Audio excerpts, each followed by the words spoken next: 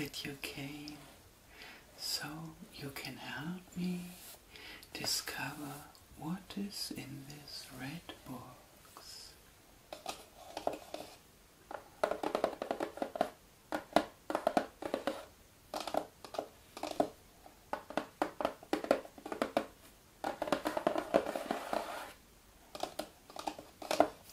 So this box is looking quite simple. Nothing very special about it, but it's red. And here you see some things that you can maybe guess what could be inside. Yes, it's a jigsaw puzzle. And it is an individual jigsaw puzzle. So I made the photo and then this photo company made a jigsaw puzzle out of my photo and therefore I can tell you what we can see on the picture of this puzzle. Let's open it. Here, here are all the parts. It's no huge puzzle, rather small, but it is big enough for quite long ASMR video.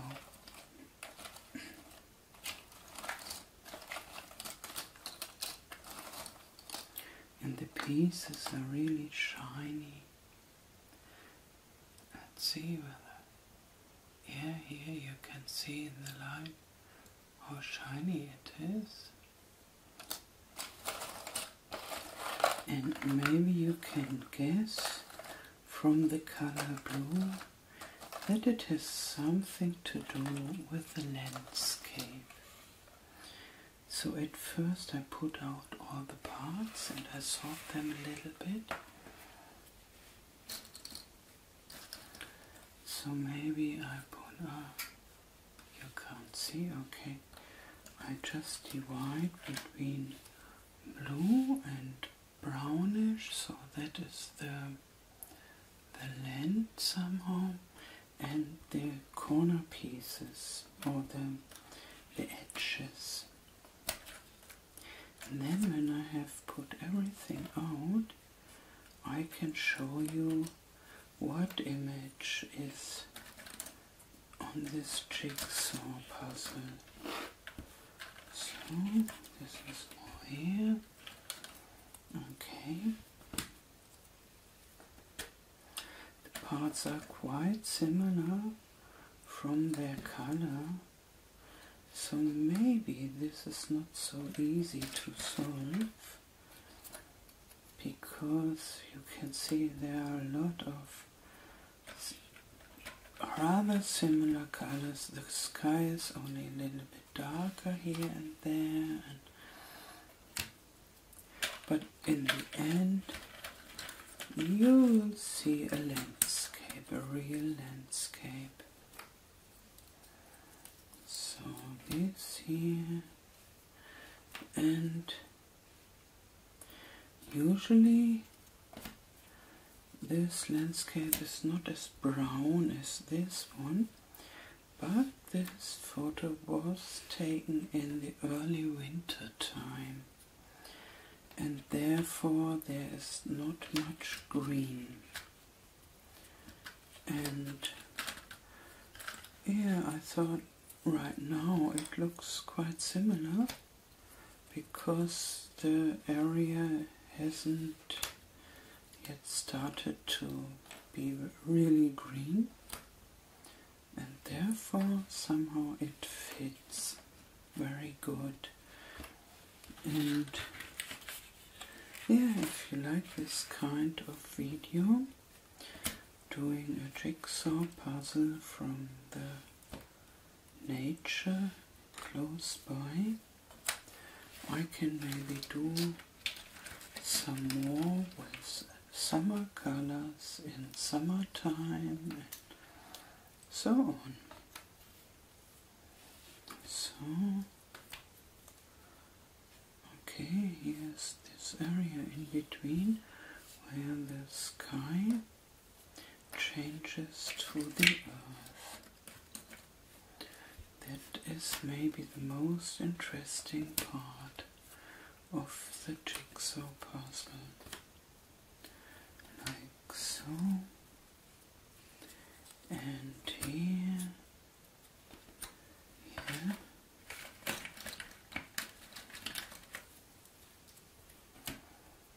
Okay. So as you may have guessed already, this is an area where I have been because I took the photo. And so I can tell you something about this area when I'm doing this jigsaw puzzle.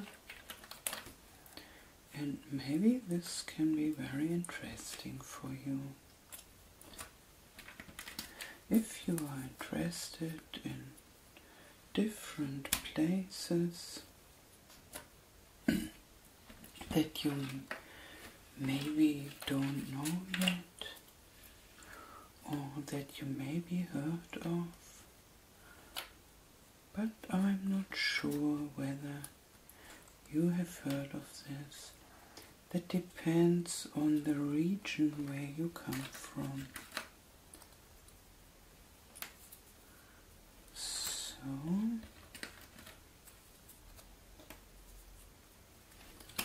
okay.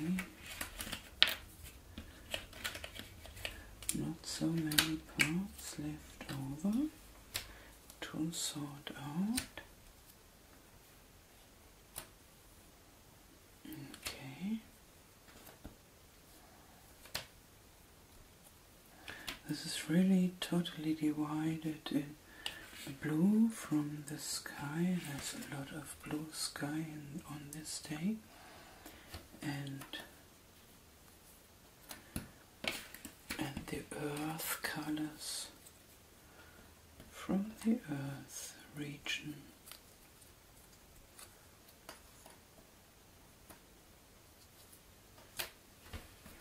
And from these pictures, the small ones, you maybe can't guess what how this earth is there.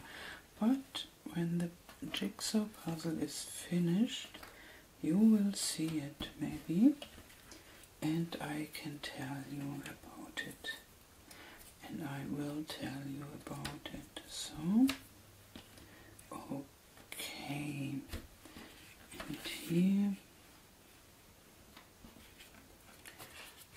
we can reveal the image. You see this little mountain area and here a lot of blue sky. And that's quite typical. Uh, we really often have good weather. And this is the area that is very close to where I live. And so I can tell you about my home area somehow. And this is in uh, late November but right now in March it looks rather similar. It's starting to get greener now. So and here there is very tiny little village and I can tell you about this too and about what we can see here in the far distance.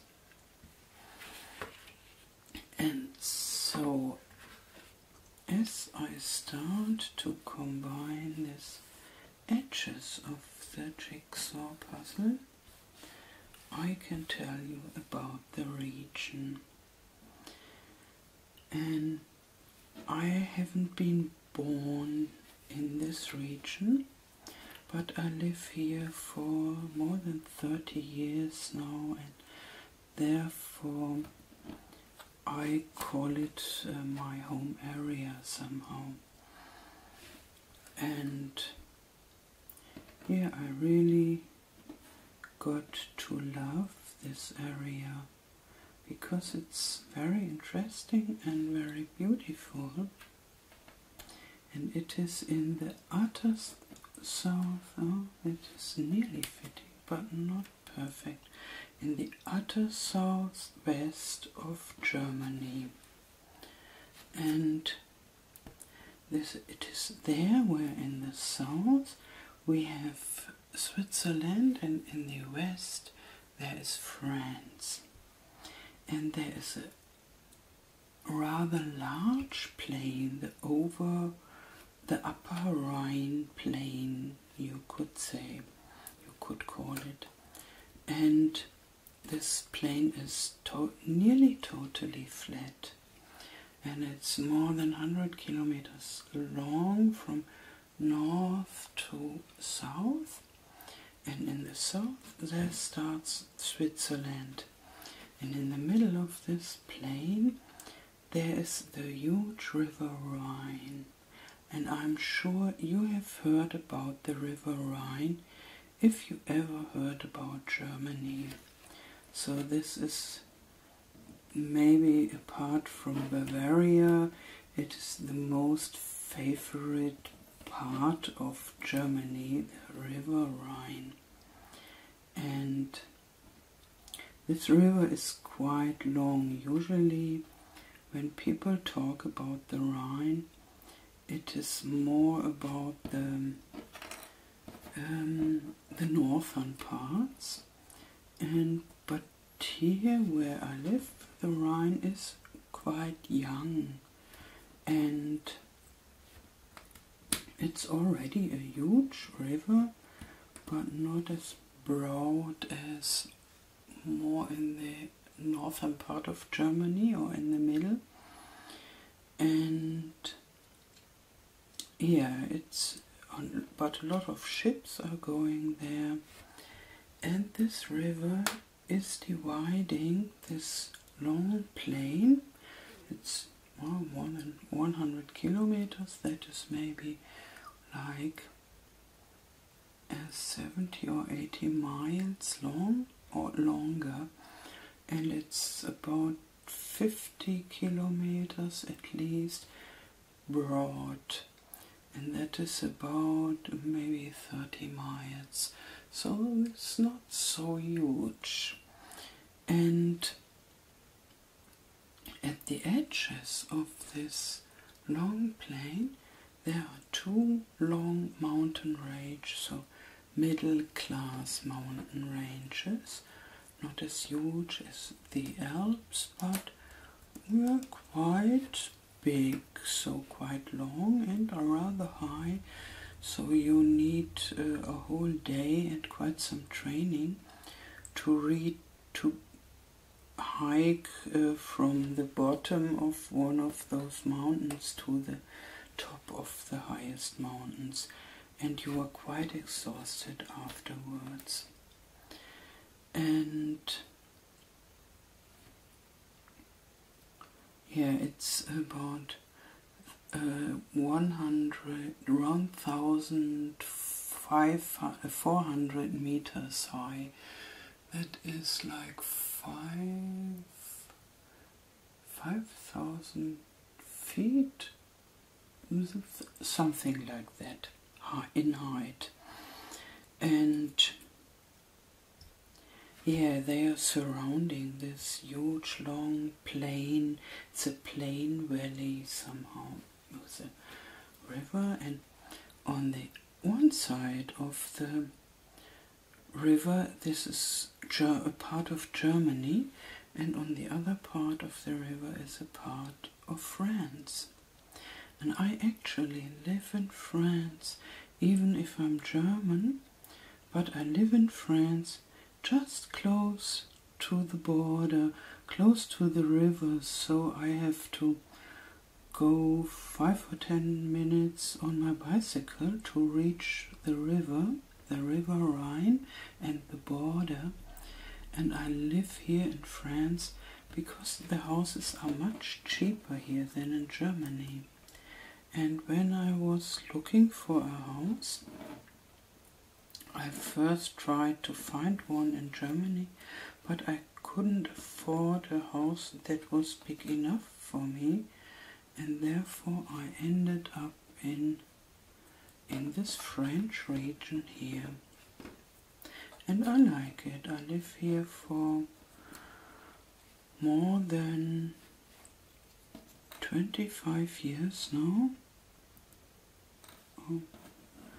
And this is really yeah, a typical border region and the people are going to well this is nearly fitting but not totally this is very strange it's always the same again and again I hope I find one that really fits maybe this is fitting better. No it is not. Maybe I ah here is one more. Okay and is there maybe one more?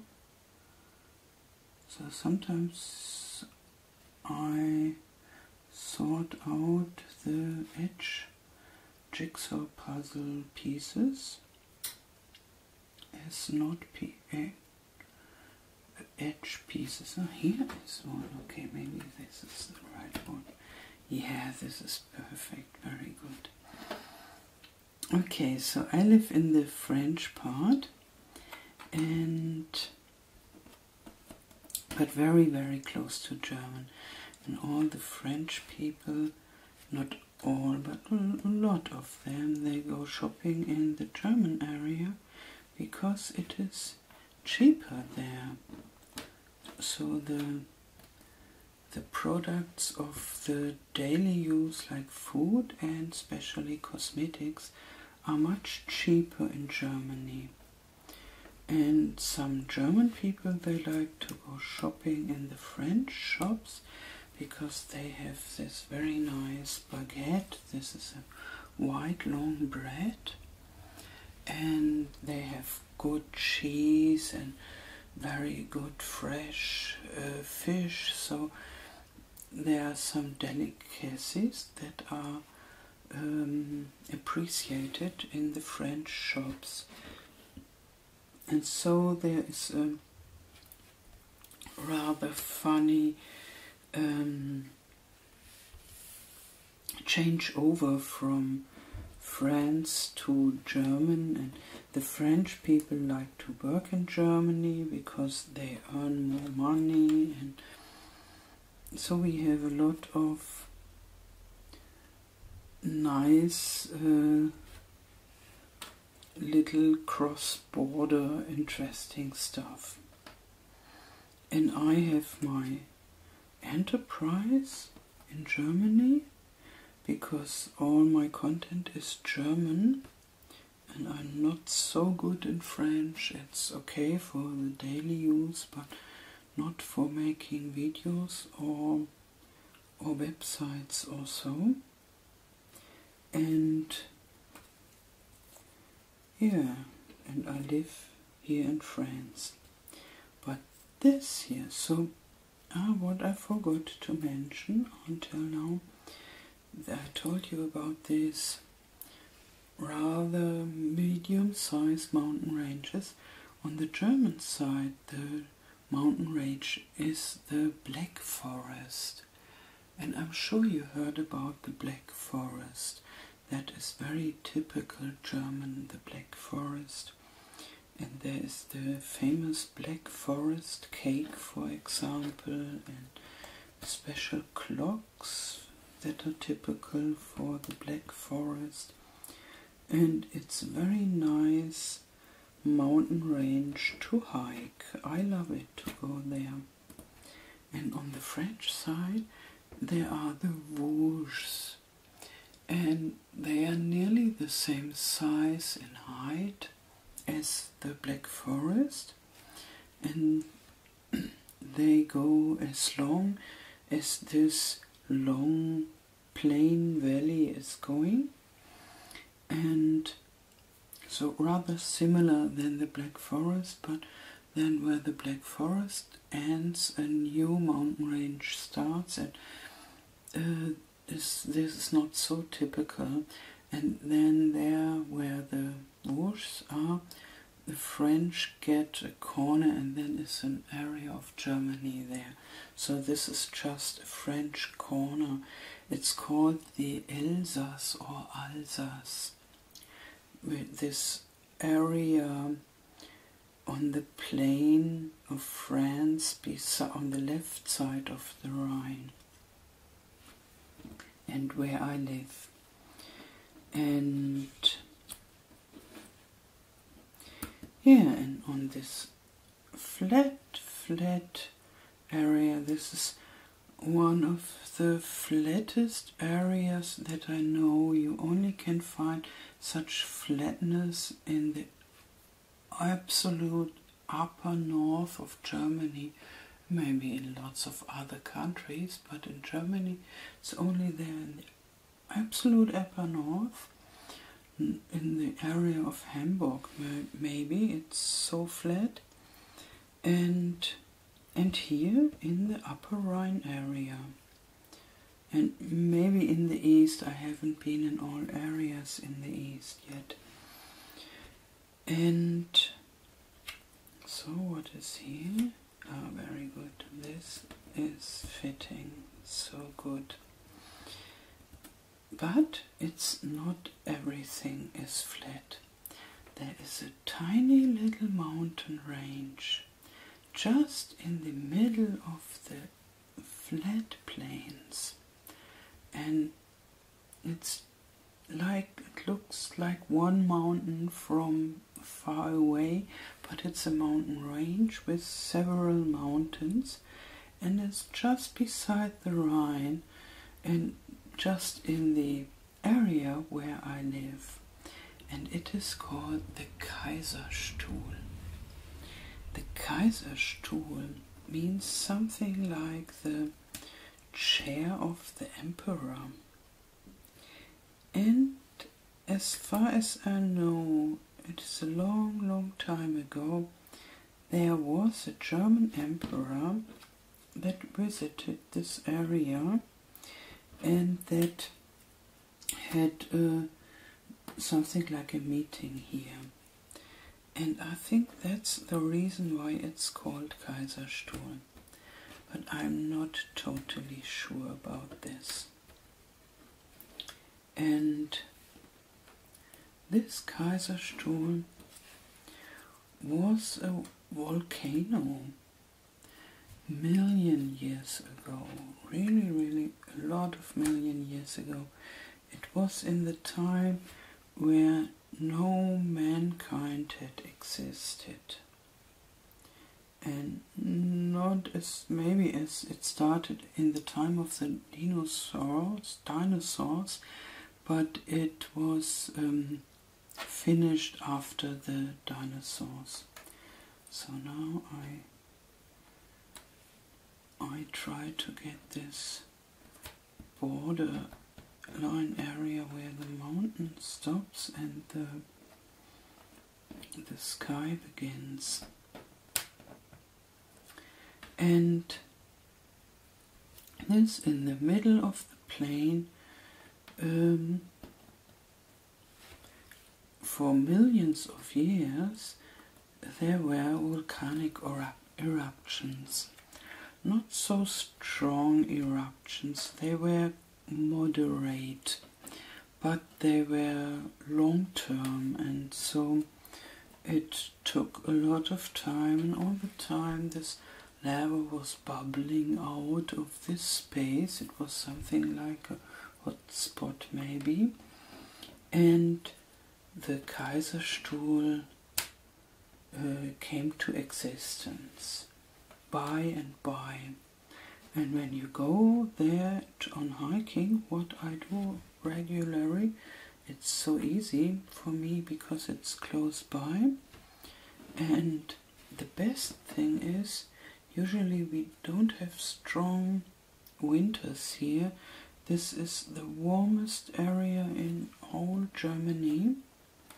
And so when everybody is freezing to their bones, usually we have moderate climate and it's moderate enough to go hiking without uh, fearing to slip on the ice because there is no ice. And not always, this winter was rather cold, but usually you can walk in the springtime, in, in early springtime already, in the autumn and in the winter. Only in the summer it is too hot here because it's the warmest area of whole Germany. And sometimes I go there with my car and sometimes I go there with my bicycle because it's only something like 10 kilometers away from where I live. And then I go hiking there. And therefore I know a lot of these places. And you can it is only like 15 kilometers from north to south and like maybe 10 kilometers road. And so you can hike from the north to the south in one day. And for sure they are not very steep and they are quite some steep areas in the mountain but not so high. And so you go you have a steep part where you where you climb and then steep down again and but never thousand meters up in one piece and if you go from north to south you have quite some training for your body um, and you have managed the whole area, the whole mountain range. And with my bicycle, I love to go all around this Kaiserstuhl. And you can do in one day, it's like 60 70 kilometers. And that's very nice too. And yeah, because I'm there very often, I know it by heart somehow. And in this mountain, here, let's see whether this fits. Oh, it looks so fitting, but it is not the right piece, but maybe a similar one. Now the most interesting, so what you maybe would know about the Kaiserstuhl, if you heard of it, is the wine. The most part of the Kaiserstuhl is covered with vineyards and they make a very nice wine here because there's so much wine the, uh, the wine can be sweet but yeah the people like this um, dry wines in this time period so they produce more dry wines than sweet wines but they can cultivate um, grape kinds that usually grow only in more southern countries like in France or in Spain. They, oh, I don't know all the English words for the wine types, so maybe I better leave it. But they do delicious wines and you can buy the wines from the Kaiserstuhl all over Germany and I think also in in other countries because it's one of the the best wine regions of Germany.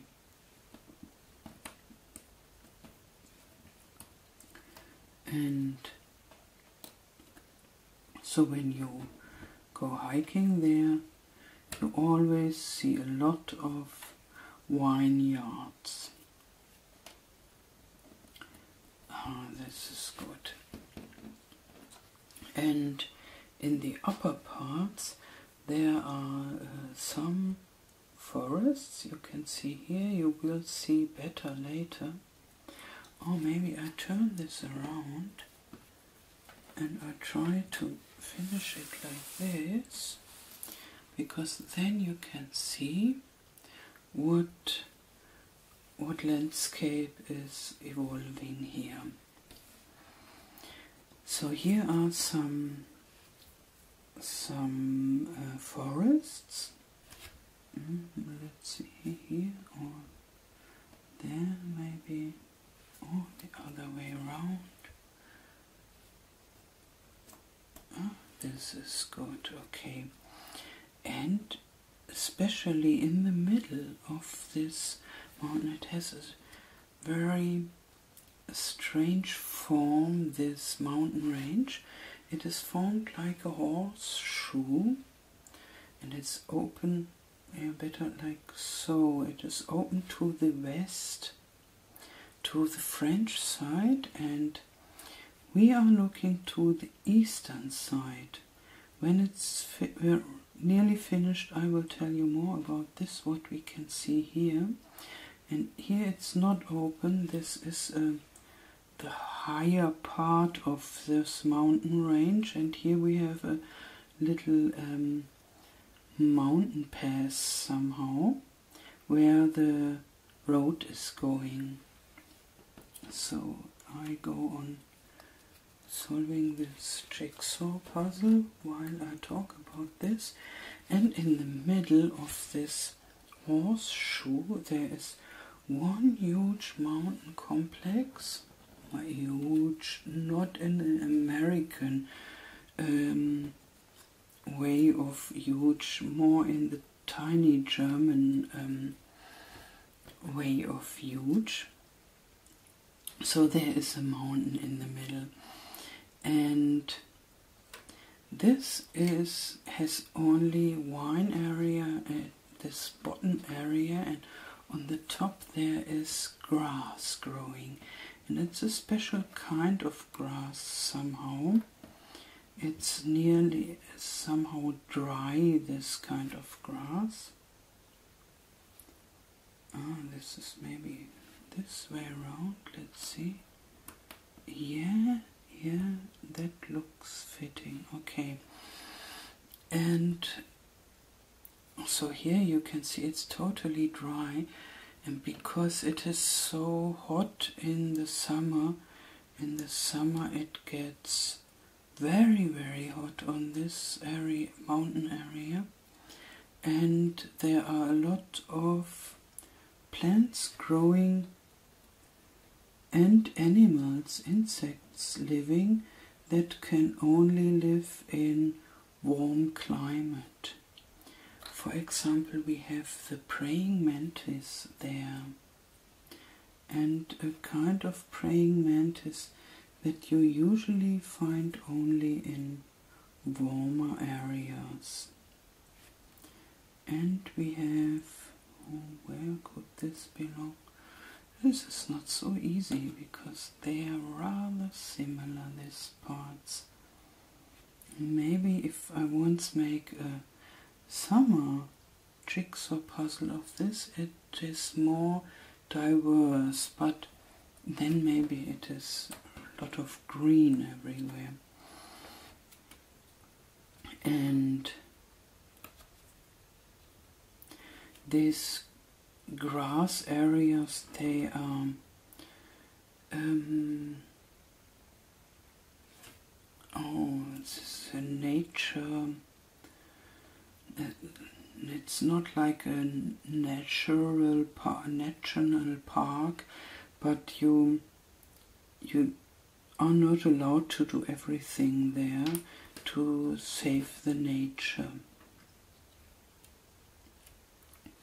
So, because the nature is very rare and interesting there, and there are sheep that keeps this grass short, because if you let it grow, then you get a bushy, bushy forest, and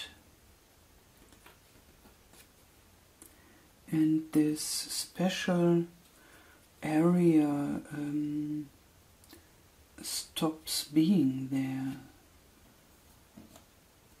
Ah, here I found something finally. Very good. And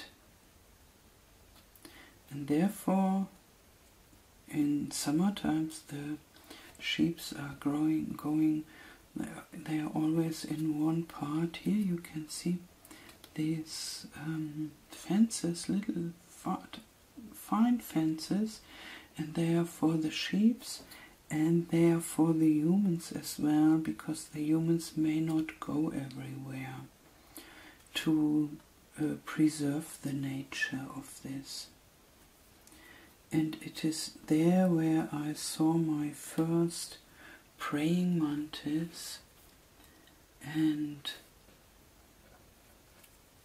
yeah then we had a very very warm summer in 2003 it was absolutely hot in this summer and from this time on we have the praying mantis in our garden year by year. And we really appreciate it. And it's so nice to have them here. And we always take care to look that they have places they build their eggs. They have something like a nest for their eggs and they need sticks that are strong enough to survive over the winter time. And there this praying mantis um, put those egg nests. And we always take care in our garden that we have those so we don't cut all the plants in the autumn for them to have enough place for their babies. And so they make their those egg nests. It's called Oothek. Maybe there is a similar word in English too, but I don't know it. And then in late spring they come out, very, very tiny little praying mantis, and after a while they get bigger and bigger. And then sometimes they come to the doors or even into the room but usually they stay outside in the garden and they are so interesting animals this is maybe like so yeah Okay, what you can see here is a tiny little village, a very tiny little village. It has only maybe 10 houses or so. And even if Germany uh, is smaller than America, uh, these small villages are rare. But we have them. And maybe in America you have this too in the countryside. This is absolutely countryside somehow. It is rather close to a bigger city. I am. Speaking of a bigger city, so here is this mountain pass where the cars go. They go by this little village and then here over there's a street. Maybe we will see it later. And here very faded you can see other mountains and this is a view to the black forest and there are only small white dots close to this other uh, mountain range and that is the city of Freiburg. And Freiburg is the biggest city in this area.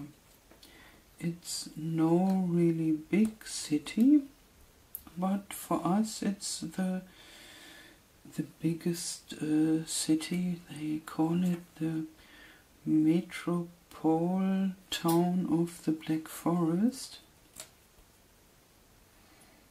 and it has something like I think two hundred thousand um, inhabitants and lots of them are students.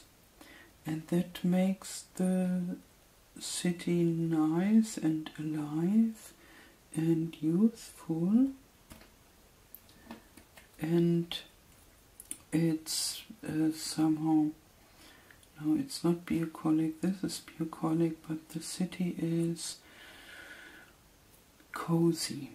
You could say cozy and there is a middle age uh, area in the city. Not where you go shopping, this is looking modern, but close to this area it looks middle age and there's a very tiny little river going. No, it's not a river and neither a creek, it's artificial, but it's water in all streets of this uh, city, the center of the city, there are little, tiny little waters running.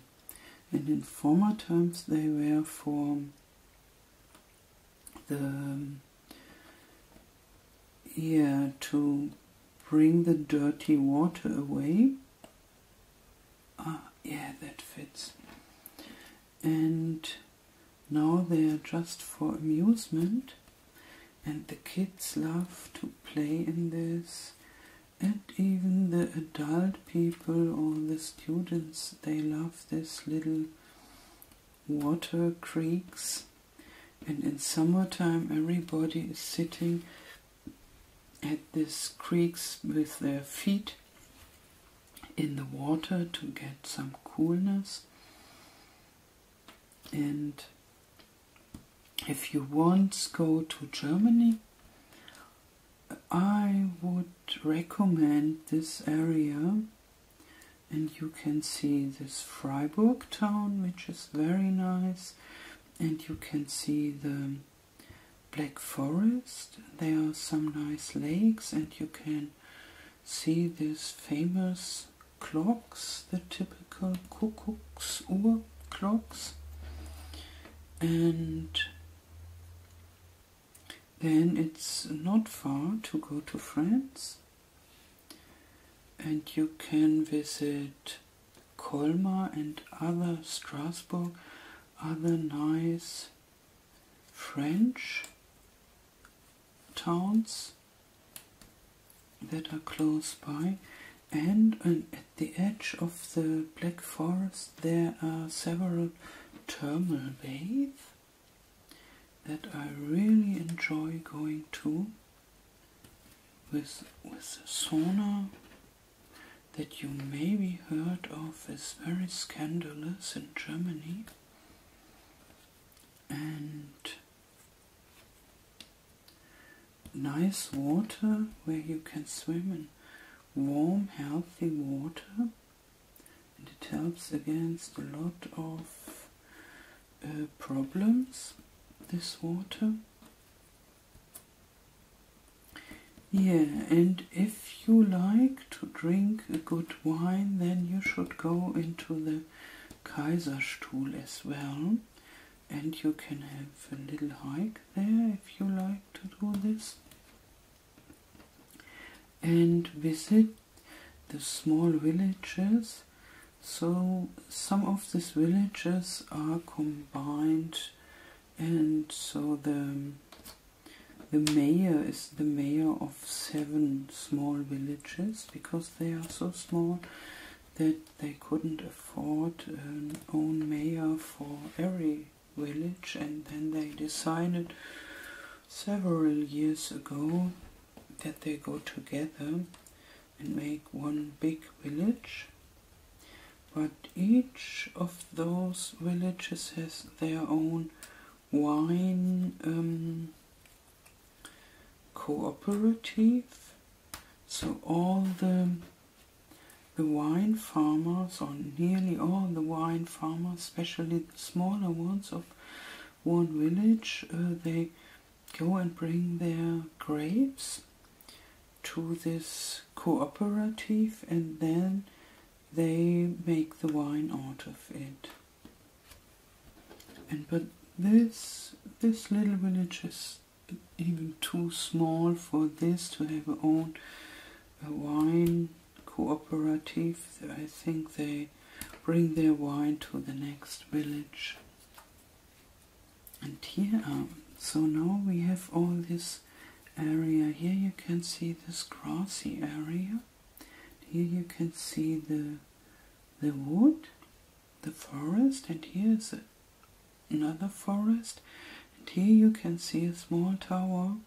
It's actually a huge tower, and this is the second highest mountain of the Kaiserstuhl.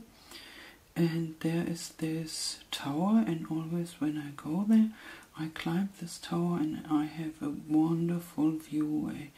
And in autumn, I can see to till the Alps when the weather is okay, so when we have a good view. And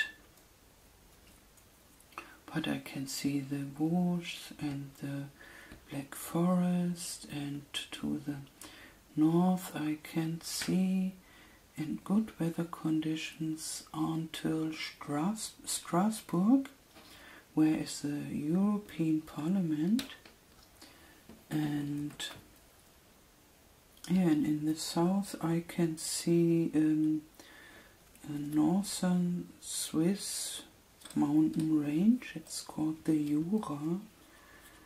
And in perfect weather conditions, the Alps. But that is rather seldom that I can see the Alps from there. But anyhow, I love to go there and have this magnificent view. Okay. And as I tell you that, I really think I should go there this week if the weather is okay. So as I told you, the, this winter was quite cold and I only went on my bicycle to uh, go bike a little bit uh, in the flat area where I live. But now it's time to go to my beloved Kaiserstuhl and to take some photos of the herbal plants that are starting to grow there now. And yeah, to get in the shape for the summer. Okay, no, oh, here for sure. Okay, so it's not many time parts left over. That's very, very good.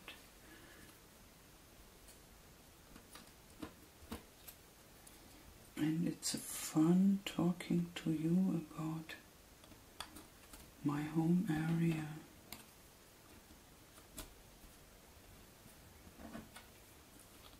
And I hope you enjoyed to getting to know the Kaiserstuhl of Germany a little bit. And then when you maybe go to Google Earth, yeah, there you can see it wonderful. And you see in Germany and in the southwest, just the corner where Germany ends, and you see those mountain ranges and this flat, and there in the center is this little mountain area.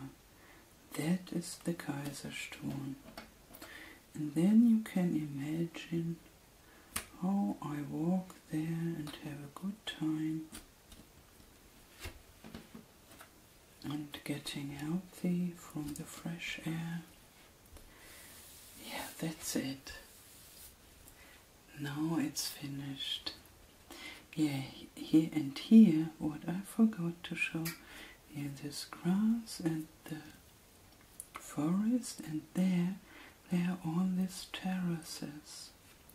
Here you can see the smaller ones. In former times they were very small, the terraces very narrow, and then in the 70s of the last uh, century they rebuilt all the terraces and they made it some of them very huge. And here you can see some bigger ones but in other parts of the Kaiserstuhl they are even bigger. They are really huge. These terraces for the wine culture because it's more easy to cultivate the wine. They can go there with their with their machines to to build to grow the wine. And before they had to do everything by hand. And in modern times nobody is willing to pay for this hard work and so they use their their tractor or their little um, their their farmer cars somehow. But always when I see them they are so only for the very hard part. They use their machines and usually there are always people standing there and cutting the grape plants and taking the oh, too much leaves and when they have too much fruits they take them out by hand and it's a lot a lot of work to make this very nice wine that is growing there. Yeah and if you happen to come to a shop where they have a big variety of wine and you see wine from Kaiserstuhl maybe you think on me and on this very nice landscape while you enjoy this wine. Okay, so now I wish you a wonderful night. Sleep well and have nice dreams. Good night.